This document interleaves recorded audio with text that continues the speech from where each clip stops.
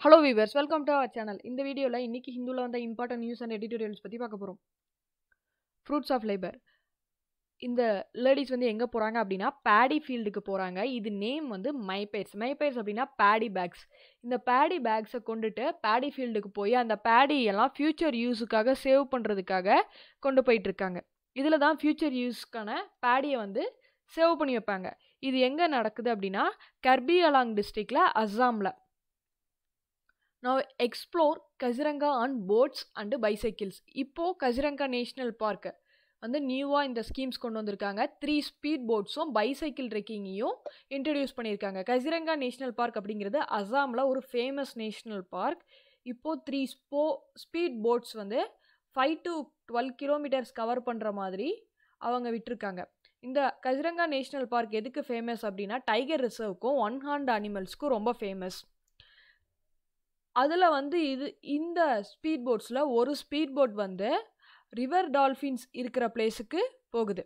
அது வந்து river dolphins பார்க்குறது அப்படிங்கிறது இந்த பிளேஸில் ரொம்ப ஃபேமஸ் இப்போ ட்ரெக்கிங் போகிறதுக்காகவும் அந்த ஸ்கீமை விட்டுருக்காங்க. இந்த கஜிரங்கா நேஷ்னல் பார்க் முன்னாடி thousand three hundred and two square கிலோமீட்டர்ஸில் இருந்துச்சு. இப்போது ஃபோர் எயிட்டி ஸ்கொயர் கிலோமீட்டர்ஸ் எக்ஸ்ட்ராவாக அவங்களோட நேஷ்னல் பார்க்குக்கு ஆட் ஆயிருக்கு. The roots of the agricultural crises run deep ரீசண்டாக வந்து டெல்லியில் ப்ரொட்டஸ்ட் நடந்துகிட்ருக்கு farmers Haryana and Punjab farmers வந்து ப்ரொட்டஸ்ட் நடத்திட்டு இருக்காங்க எதுக்காக அப்படின்னா இப்போது ரீசண்டாக கொண்டு வந்த த்ரீ ஃபார்ம்லாஸை வந்து அமெண்ட் பண்ணணும் அப்படிங்கிறதுக்காக. அதாவது கம்ப்ளீட்டாக அதை வித்ட்ரா பண்ணணும் அப்படிங்கிறதுக்காக.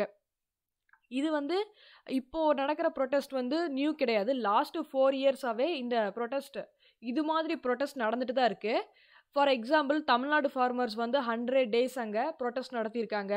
மகாராஷ்டிரா ஃபார்மர்ஸ் வந்து கிசான் லாங் மார்ச் அப்படின்னு ஒரு ப்ரொட்டஸ்ட் நடத்தியிருக்காங்க. அது மட்டும் இல்லாமல் ராஜஸ்தான் கர்நாடகா சத்தீஸ்கர் குஜராத் ஹரியானா ஃபார்மர்ஸ் எல்லாமே ப்ரொட்டஸ்ட் நடத்தியிருக்காங்க.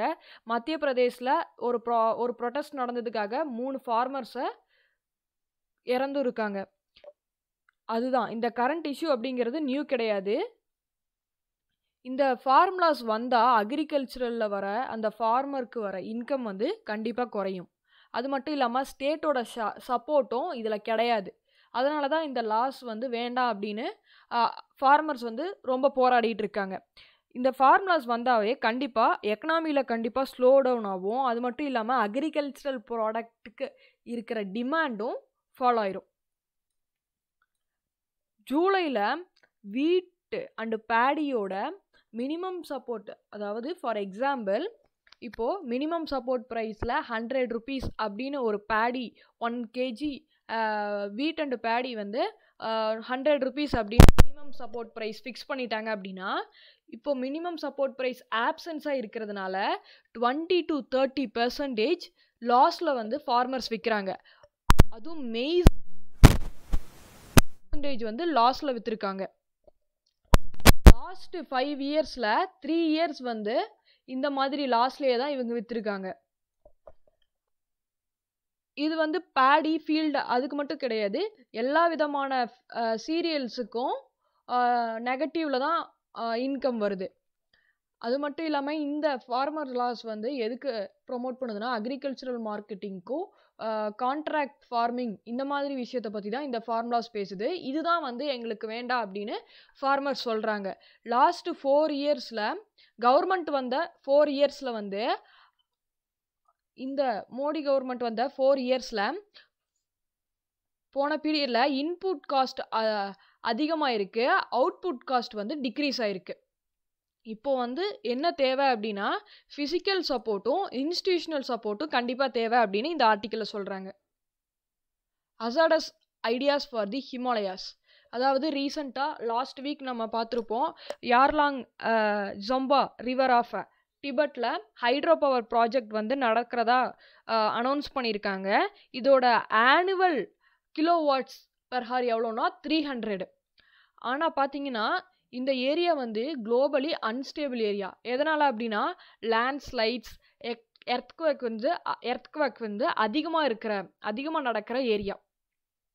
டுவெண்ட்டீத் செஞ்சுரியிலேயே ஃபிஃப்டி பர்சன்டேஜ் ஆஃப் எர்த்குவேக்ஸ் வந்து குளோபல் லெவலில் இங்கே தான் இருக்குது இங்கே தான் நடந்திருக்கு. அது மட்டும் இல்லாமல் நைன்டீன் ஃபிஃப்டிஸில் பார்த்தீங்கன்னா அஸ்ஸாம் டிபெட் அந்த மன்மோ மன்மோகன் லைன் அப்படின்னு ஒரு லைனில் இருக்கும். அந்த லைனில் eight point five magnitude earthquakes வந்து கவர் ஆயிருக்கு. இதுதான் குளோபல் லெவலில் ஹையஸ்ட் எர்த்துக்வேக்கு அது மட்டும் இல்லாமல் ஓவர் த பாஸ்ட் டுவெண்ட்டி இயர்ஸில் சைனீஸ் வந்து ஃபிஃப்டி ஃபைவ் ஹைட்ரோ பவர் ப்ராஜெக்ட்ஸில் லெவன் வந்து நிறைவேற்றிட்டாங்க இந்தியாவும் அருணாச்சல் பிரதேஷில் ரெண்டு ஹைட்ரோ பவர் ப்ராஜெக்ட்ஸ் வந்து கம்ப்ளீட் பண்ணிட்டாங்க. இவங்க வந்து மெயினாக எங்கெங்கே வந்து அந்த ஹைட்ரோ பவர் ப்ராஜெக்ட்ஸ் வந்து நிறைவேற்றுறாங்கன்னா லேண்ட்ஸ்லைட்ஸ் அதிகமாக இருக்கிற பிளேஸில் கிளாசியல் லேக்கு அவுட்போஸ்ட் ஆகிற பிளேசஸில் தான். இதனால் வந்து கண்டிப்பாக அங்கேருந்து தண்ணி வந்து ரொம்பவும் மக்களை தான் பாதிக்கும். டூ தௌசண்ட் ஃபிஃப்டீனில் இதே மாதிரி தான் நேபாளில் வந்து கோர்ஹா அப்படிங்கிற ஒரு எர்த்துக்கேக் வந்து நடந்திருக்கு.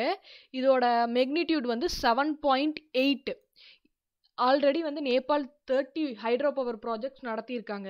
அதில் வந்து அந்த கோர்க்கா வந்ததுனால தேர்ட்டி ப்ராஜெக்ட்ஸுமே டேமேஜ் ஆயிடுச்சு இதனால் நேபாளுக்கு டூ ஹண்ட்ரட் மில்லியன் டாலர் வந்து லாஸ் ஆயிடுச்சு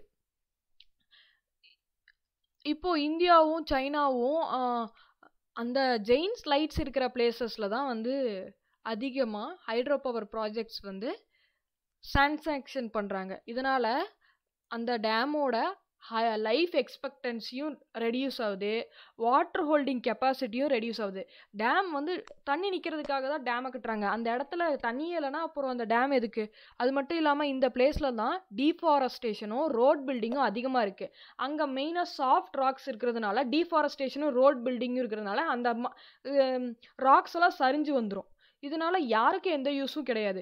சைனாவும் இந்தியாவும் மிலிட்ரி பர்போஸுக்காக தான் இதை யூஸ் பண்ணுறாங்க இந்த ஹைட்ரோ பவர் ப்ராஜெக்ட்ஸை வந்து போட்டி போட்டுட்டு கட்டுறாங்க.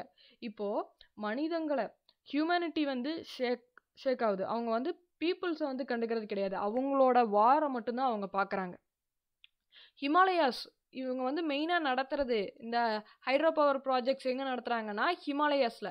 ஹிமாலயாஸ் அப்படிங்கிறது ஏஷியன் கிளைமேட்டுக்கு ஒரு முக்கியமான பிளேஸ் அது மட்டும் இல்லாமல் இந்த இடத்துல அதிகமாக குளோபல் வா வார்மிங் நடக்குது. இந்த ஹைட்ரோ பவர் ப்ராஜெக்ட்ஸ் நடக்கிறதுனால இன்னும் அதிகமாக தான் ஆகும். அது மட்டும் இல்லாமல் ரீஃபாரஸ்டேஷன் பற்றி பார்த்தோன்னா ஹையஸ்ட் ரேட் ஆஃப் டீஃபாரஸ்டேஷனும் லேண்ட் யூஸ் சேஞ்சஸும் ஹிமாலயாஸில் தான் அதிகமாக நடக்குது. இதனால் யாருக்கு லாபம் அப்படின்னா யாருக்குமே கிடையாது. ஹைட்ரோ பவர் ப்ராஜெக்ட்ஸ் போட்டி போட்டுட்டு பண்ணுறதுனால கண்டிப்பாக யார் வந்து அதிகமாக பண்ணுறாங்களோ அவங்களுக்கு தான் பாதிக்கும். மெயினாக வந்து இது அந்த இடத்துல வாழ்கிற மக்களுக்கு தான் அதிகமாக பாதிக்கும். அதனால் இந்தியாவும் சைனாவும் கண்டிப்பாக இந்த ப்ராஜெக்டை வந்து ரீகன்சிடர் பண்ணணும்.